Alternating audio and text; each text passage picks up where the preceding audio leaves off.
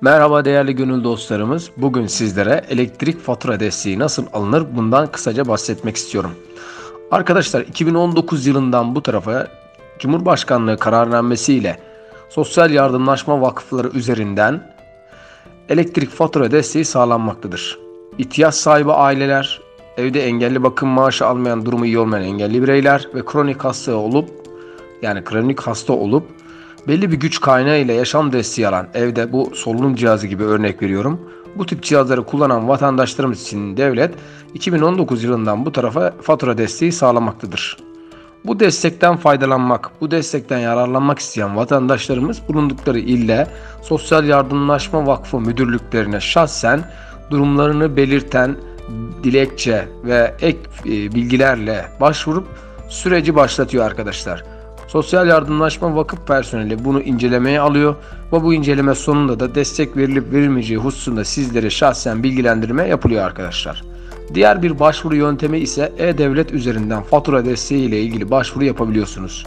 E-Devlet'e girdiğinizde arama yerine, arama butonunun yerine elektrik fatura desteği yazdığınızda size gerekli yönlendirme yapılacaktır. İnşallah yakın dönemde buna da doğalgaz fatura desteği de eklenecek arkadaşlar. Evet, elektrik fatura desteğinde alma koşullarımızı tek tek incelersek ihtiyaç sahibi aileler demiştik. Sosyal Yardımlaşma Vakfı bünyesinde ihtiyaç sahibi ailelerin kayıtları vardır. Bu aileler şahsen gidip başvurduğunda fatura desteği başvurusu yapılmış oluyor. Evde bakım maaşı almayan engelli bireyler demiştik. Yani eve herhangi bir gelir desteği olmayan, durumu iyi olmayan sosyal yardımlaşma vakfı bünyesinde kayıtlı engelli bireyler de gidip başvuru yapabilir kronik hastalığı olan ve belli bir güç kaynağına cihaz kullanan arkada, yani bireyler için de ise bu destek sağlanıyor demiştik. Kronik hastalığınız var örnek veriyorum ve güç kaynağı kullanıyorsunuz. Örnek solunum cihazı gibi veya başka cihazlar gibi.